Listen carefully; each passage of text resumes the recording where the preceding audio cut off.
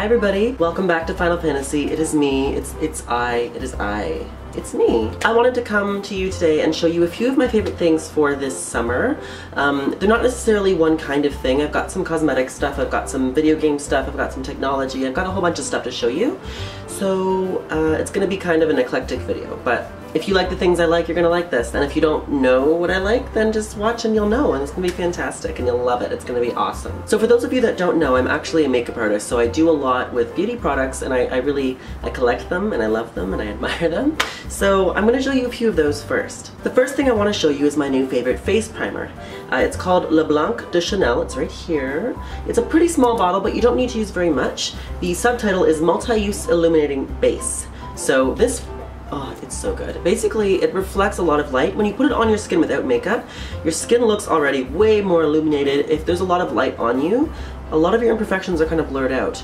The only complaint I have about this is that it only comes in one shade, white. So if Chanel were to make like a champagne or like a gold version of this, they could also, you know, cater to darker skinned people, which I think they absolutely should be doing, and I think it's unfortunate they don't. They do have another primer that is like a really tanned deep color that you can use on deeper skin, but it's not the same kind of primer. It's more about glow, and it's less about the like radiance and like blurring effect. So I think they really should try to release one that's better for darker skin, but if you are anywhere from medium to fair, this is going to be great for you. Um, and I like I've never liked a primer more than this. It's fantastic. It's wonderful. The next product I have for you is a lip gloss, actually. It's from Urban Decay. This is in the color Kinky. Yeah. This is the high color lip gloss, not the naked lip gloss. So this one has a lot more color and a lot more reflectiveness.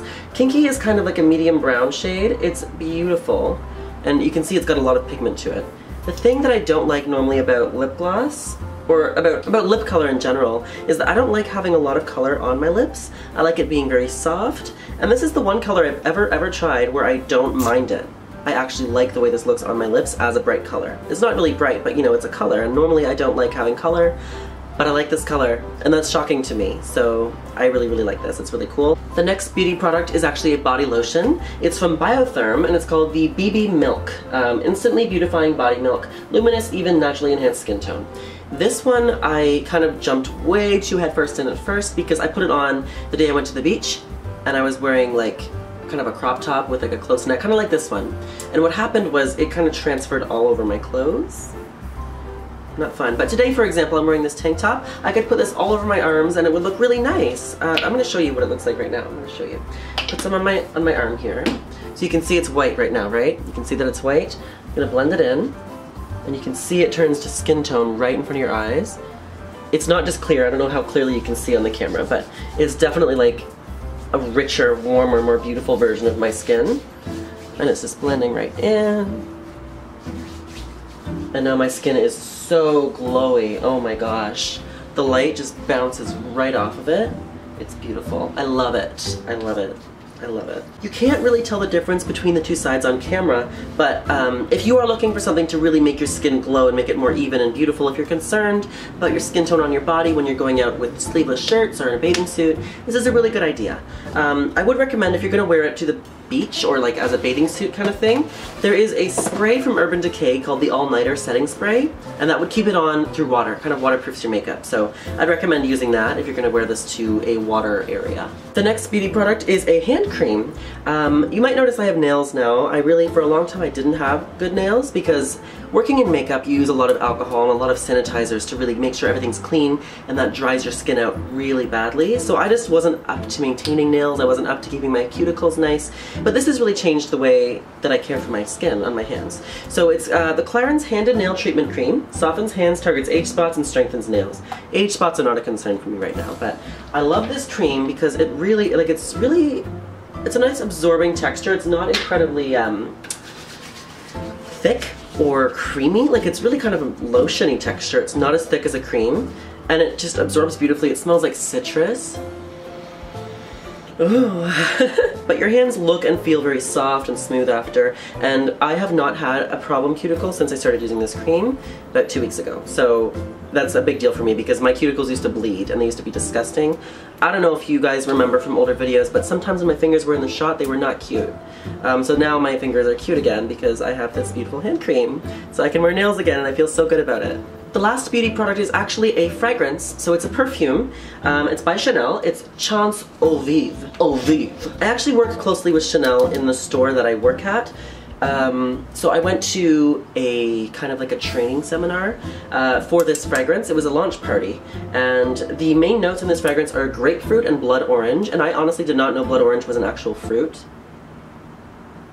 until I went to that training seminar because I thought it was just that thing on Tumblr where that guy was like, it's red, you know, but it's a fruit. It's a real thing. So grapefruit and blood orange, it's a citrus scent, and I really like it because it's very different from everything Chanel's ever made.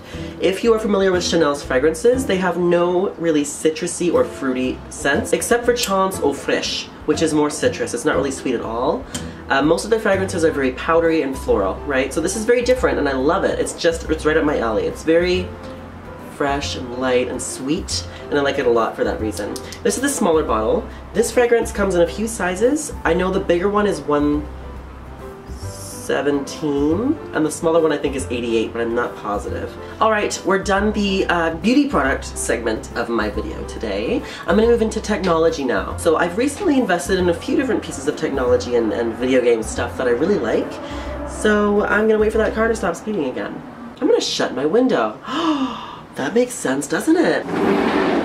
Why did I not think of that earlier? That's so ridiculous. Whatever whatever. Okay, so technology. I actually invested in a Wii U lately. Oh god. Yeah, Wii U. If you guys watched The Real House Elves of Toronto, the vlog that ALB and I do together, um, you will notice that in the latest episode, episode 3, which I will link to you in a little annotation over here, I searched all over the city for a Wii U, and I found one at a Shoppers Drug Mart that I used to work at near Yonge and Dundas Square.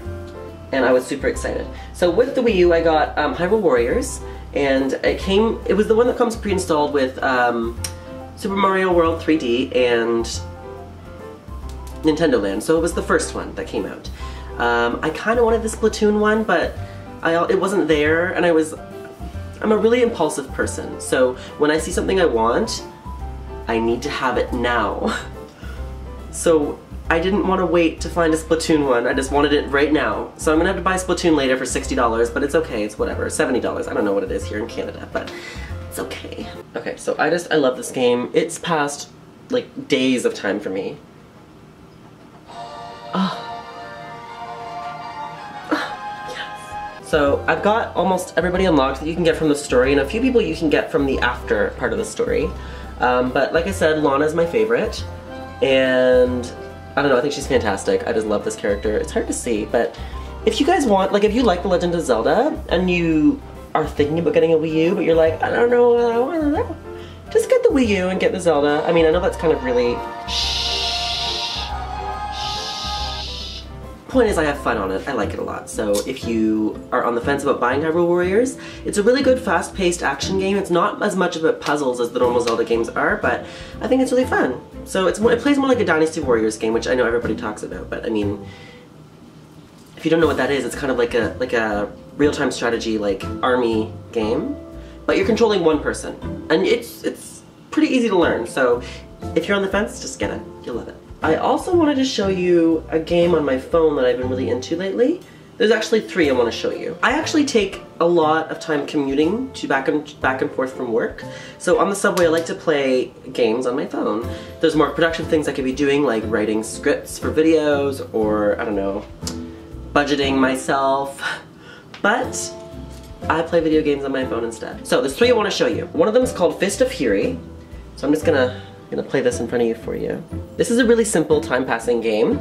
Um, basically, all you do is you swipe in the direction, I'm gonna turn the volume on. You swipe in the direction of the enemies, and you just go for as long as you can, and it gets really fast. I don't know, I love it. I've gotten up to I think like 200 before before I've died, which is not incredibly high mind you, like I don't know what my friends do in this game, but I think it's really fun. It's just mindless Oh yeah, that was bad of me. But it's just a mindless kind of like hack and slash game that you can just play with your fingers, easy. Um, it's called Fist of Fury, it's free on the Apple Store, it's really fun. I think you should check it out if you like time passing games. Another one is called Quest Keeper. This one's also a free game, and if you like fantasy and adventure games like I do, you will love this as like a time passing game. It's a bit more of a time investment because you actually you have to kind of get coins and unlock armor to make other levels easier for you. But um, I'll just show you the easy level for now. Like this is me going through the collect a coins level. And you basically just swipe in the direction you want to walk in and your character cannot stop walking unless you run into like a like a solid solid uh, wall. And you essentially have to go for as long as you can. Most levels are 300 blocks. The money getting one is unlimited though because um, because it is. And basically the more you progress in the levels and the more you beat the levels, the more survivability you have, so you can defeat harder levels is the idea. But it's really fun, um, and this is like a really low action version of the game that I'm playing right now. But it's free and it's accessible and I think it's great. So it's called Quest Keeper. And I think it's pretty fun. The last game actually I believe costs 99 cents. I'm not positive how much it costs, but it's called Plague Inc. Like Plague Incorporated. Or if you're American, Plague but we're not here, are we? We're not American, we're Canadian. Alright, so Plague Incorporated. Uh, it's pretty simple. You just press play, you make a new game. The object of this game is to kill everybody on the planet.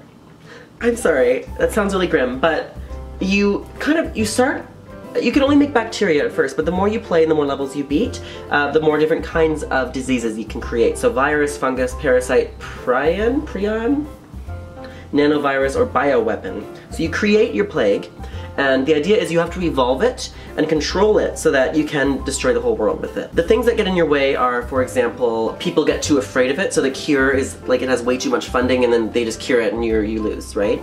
Another thing that can happen is your disease does not spread fast enough and the people with it die.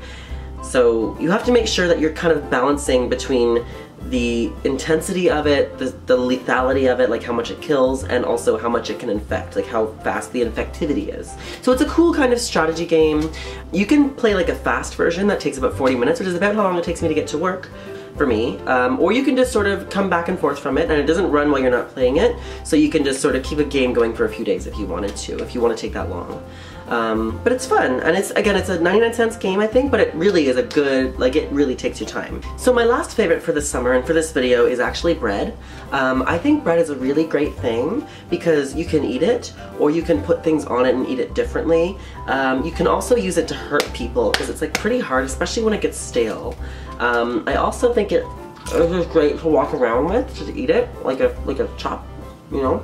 Um, I find myself always going to the midnight grocery store when I go home from work. And I just buy a baguette. I just buy some bread every day. And then I eat it with like soup or with cheese or with like a nice vinaigrette or just by itself like this. You know, I think bread's really great.